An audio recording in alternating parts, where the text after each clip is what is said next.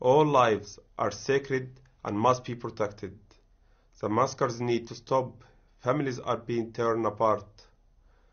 What's clear now is that humanitarian aid to Gaza must be allowed immediately. The people there are in terrible conditions. The scenes at the hospital last night were horrifying. The people of Gaza need food, water, and medical supplies urgently. I'm calling in the world leaders to come together to prevent the further slaughter of innocent souls. Humanity must prevail.